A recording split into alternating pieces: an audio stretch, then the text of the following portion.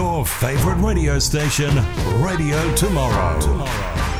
Parkinson's disease is the second most common degenerative neurological condition in Australia after dementia. 32 Aussies are diagnosed every day, with 20% of them under the age of 50.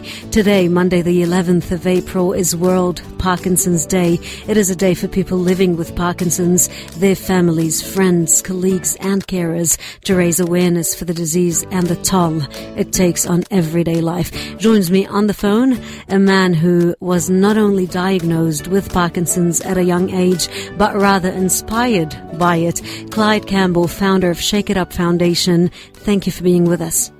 Oh, thank you for the opportunity. Pleasure. Firstly, tell me about your journey with Parkinson's. Yeah, I, uh, my journey started six and a half years ago mm. with being diagnosed with Parkinson's. Uh, from that uh, date, it was all about how to be able to find ways to slow, stop, and cure the disease. And in 2009, the diagnosis was followed by a concept and then a foundation. Tell me more about this story. Yeah, what we found is there's researchers around Australia that were all underfunded, and with what we like to ensure that they were globally competitive in their research uh, to be able to ensure we had that uh, opportunity here in Australia. And we set up with a partnership with the Michael J. Fox Foundation to bring globally leading research dollars to be mm. matched with our dollar in Australian research. And alongside MJFF, you are now the largest non-government funder of Parkinson's research in Australia. Yeah. Is that right? Yes, that's right. Yeah, with our support of um, donations in, within Australia, matched with the Fox dollar, it's made us uh, the, the, the, largest non-government funder of uh, research, and it really gives our researchers a great opportunity to excel in what they do. And how do you rate your progress since 2009? Uh, it's been massively accelerating. We've got so many more grants uh, coming through in Australia, and internationally, we're finding things heading into phase two and three trials. That's really important for us because it's getting closer to having results that we can get into patients. Mm-hmm. So the funds are being primarily invested in finding better treatments rather than just raising awareness? Yeah, what we're doing is what, looking at three different ways how to be able to slow, how to stop, and then how to cure the disease. And there may be different pillars of research that underpin each of them. Mm. So it, it's multi-pillared. So if one doesn't work, we, we aren't out of ideas. There's multiple multiple segments we're chasing. Mm-hmm, mm-hmm. Clyde, uh, I noticed that a unique aspect of Shake It Up is that all overheads are covered by the founding directors or the supporters, which means that there is no leakage of, of, of funds in admin costs. Yeah, it gets even better than that, which we want to ensure that no overhead costs were paid by the people that donated. So every dollar that's donated gets through to research, but it's also matched with a Fox dollar to mm. become $2 within Australian to get into Australian research.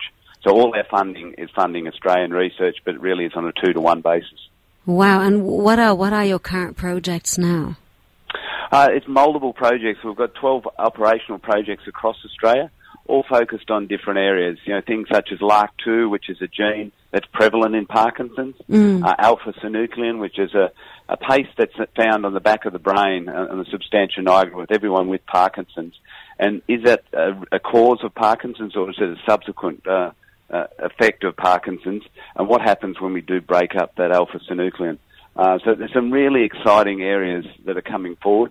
We're doing a lot of work with how to pre-diagnose Parkinson's because you don't get the symptoms until you've lost 70% of your dopamine production. If we can find it at, say, 20 or 30% and then slow it down, people won't have the effects of Parkinson's in, in, the, in the, future. Uh-huh, interesting. Um, you, you established Pause for Parkinson's in 2015 to coincide with the World Parkinson's Day. Now, Pause for Parkinson's, what does it encourage people to do and how does it help your cause? Yeah, what we're asking people to do is do something simple to pause for Parkinson's, whether it be hold a morning tea, yeah, hold a luncheon with your friends, yeah, have a wine night, mm-hmm. uh, whatever suits people. Stop, pause uh, for Parkinson's, uh, raise some dollars. Uh, you can go to our website at shakeitup.org.au and it'll give you a few different ways to be able to think about how you could pause for Parkinson's, reflect on it, but also raise some research funding. Great. So shakeitup.org.au. And um, can people donate via your website? Yeah, most definitely. If they could support ourselves as we went through, it really does get you a two to one support for research right here in Australia that is making a difference.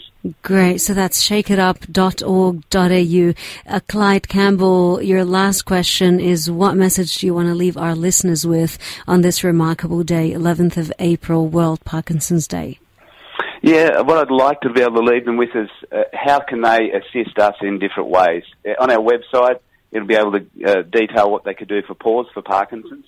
If people can donate in another way, uh, there's also that opportunity on our website.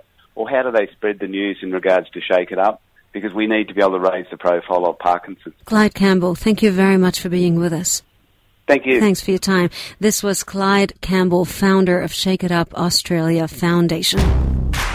Your favourite radio station, Radio 2Moro. Tomorrow.